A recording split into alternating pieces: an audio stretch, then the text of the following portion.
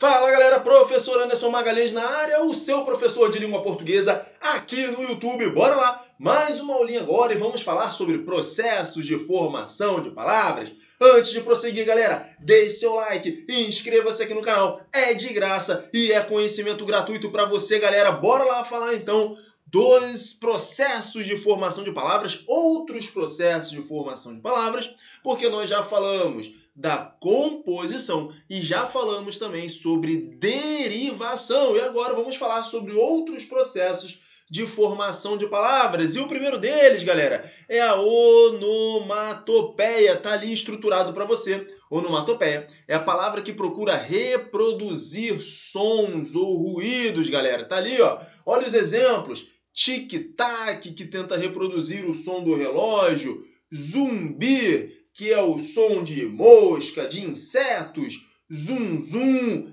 cacarejar, que é de galinha, galo, miar, miar, né, que é do gatinho fofinho, ping-pong, bang-bang, né, bang-bang, pessoal. Lembra do bang-bang? Aquelas, aqueles filmes de bang-bang, né, porque dá tiro e, e tudo mais. Então, onomatopeia é um processo de formação de palavras que visa então reproduzir sons ou ruídos, beleza?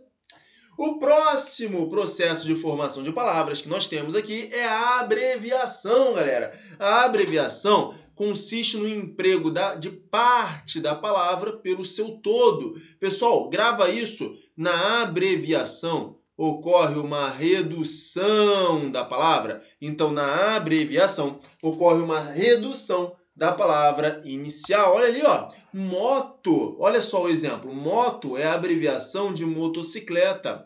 Auto é a abreviação de automóvel. Zoo é a abreviação de zoológico. Refri, abreviação de refrigerante. Foto, abreviação de fotografia. Floripa, abreviação de Florianópolis. Niver, abreviação de aniversário, Pelô, abreviação de pelourinho, né? Lipo, abreviação de lipoaspiração, pneu, abreviação de pneumático. Então, galera, na abreviação nós temos uma redução da palavra, nós temos uma redução, abreviação, redução, abreviação, redução. Beleza? Tá aí tudo bem estruturado para você. Prosseguindo, pessoal, vamos falar agora da abreviatura. E o que é a abreviatura? É a representação de uma palavra por meio de letras ou então de sílaba, galera. Então, abreviatura, galera. Tá ali exemplos. Olha ali, ó. Por exemplo, ó, o M é a abreviatura de metro. Então, eu represento a palavra metro pela letra M. Então, se eu estou representando a palavra por uma letrinha, uma letra representando essa palavra, isso é uma abreviatura. Posso colocar ali também uma sílaba, olha ali, ó, page, ou a letrinha P para representar a palavra página. Isso também é abreviatura. Olha aqui, ó, fiz, fiz. É a abreviatura de física, galera, beleza? Então tá aí, ó. Então a diferença de abreviação para abreviatura. Na abreviação ocorre uma redução da palavra. Na abreviatura você representa a palavra por meio de uma letra ou de uma sílaba, beleza? Olha aí, ó, caneca do professor Anderson Magalhães. Beleza, galera? Galera, sigla, vamos falar de sigla agora, pessoal. Sigla é um tipo especial de abreviatura, ou seja, eu vou representar a palavra por meio de letras, feita com as letras iniciais, ou então sílabas, mas ó, iniciais, sempre iniciais, ó. Letras iniciais ou sílabas iniciais das palavras que compõem a sigla, beleza? Olha os exemplos, ó. ONG, é a sigla de Organização Não Governamental. Eu pego a primeira letra de cada uma das palavras. Eu formo ONG. ONG, então, Organização Não Governamental. Eu pego sempre a primeira letra para formar uma sigla. OAB, olha ali, OAB.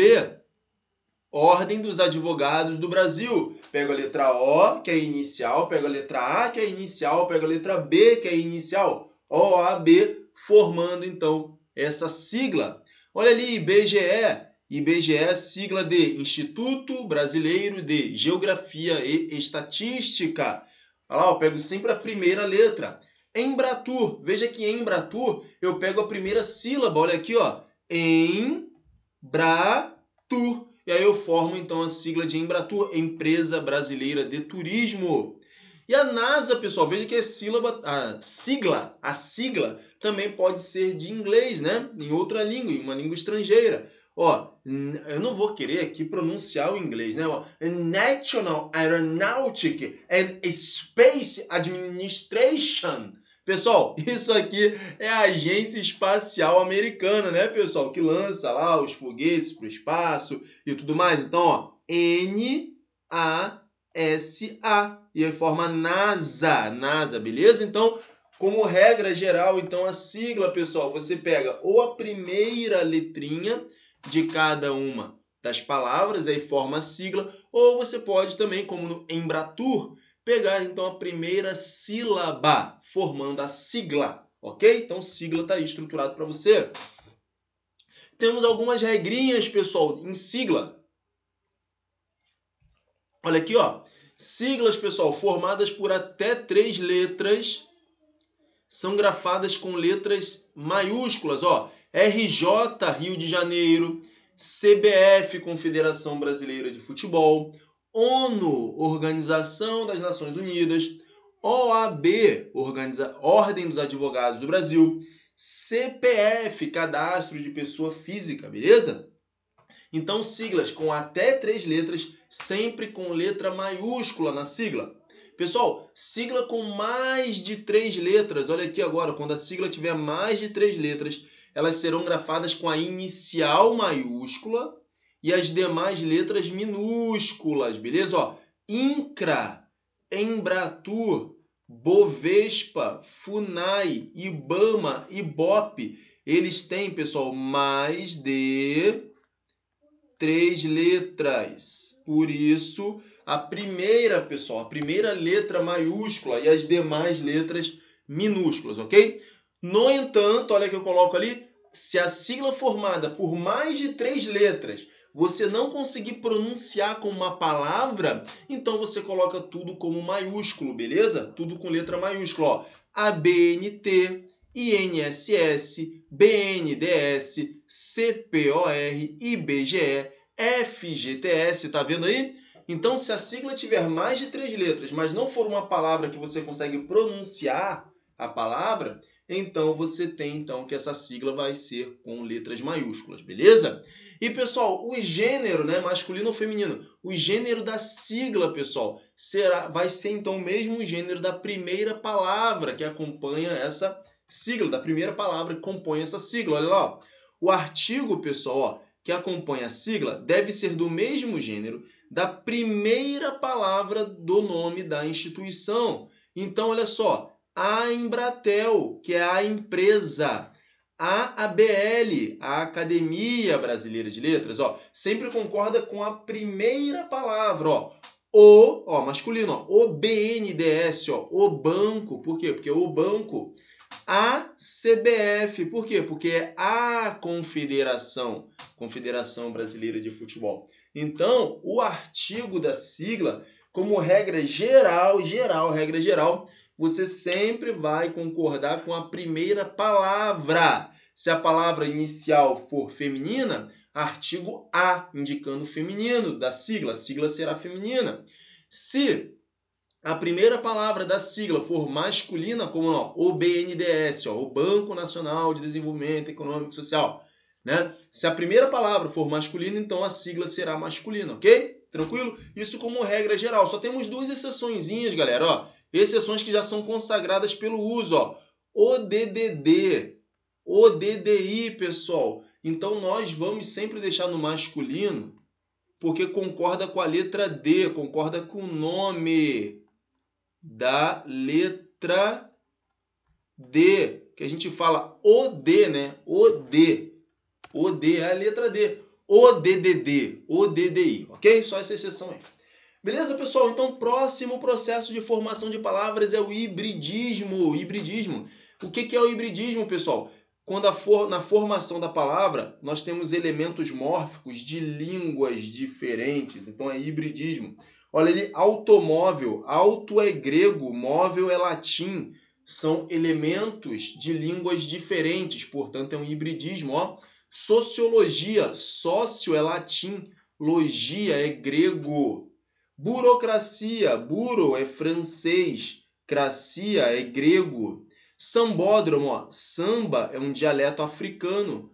Dromo é grego. Portanto, o hibridismo, galera, então no hibridismo você tem palavras em cuja formação ocorrem elementos mórficos, né? Os elementos que compõem a palavra, eles possuem origem, né, de línguas diferentes, OK? Então, hibridismo.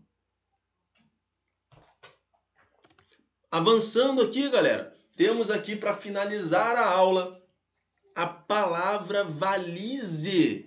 Palavra valise, pessoal, o que é a palavra valise?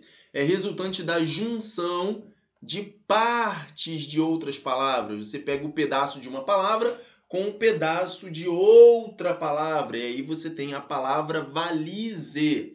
Olha aqui, ó, portunhol. O que é portunhol? Português e espanhol. Você pega porto, ó, porto, um pedaço só, tá vendo?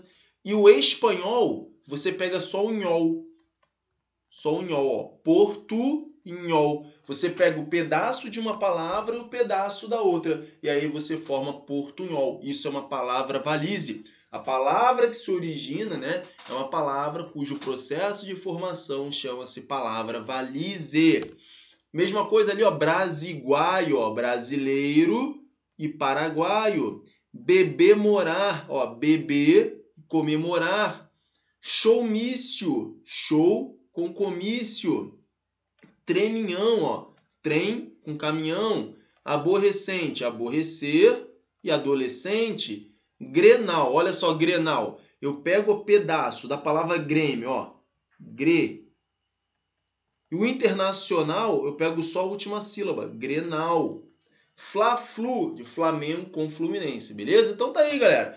Essa foi a aula, então, envolvendo outros processos de formação de palavras. Tamo junto, galera. Compartilha com seus amigos, tá? Que estão estudando aí para concurso público, vestibular ou até mesmo dificuldade em casa. Tamo junto, galera. Um grande abraço. Até a próxima. Eu sou o professor Anderson Magalhães e nós estamos juntos. Tchau, tchau. Fui.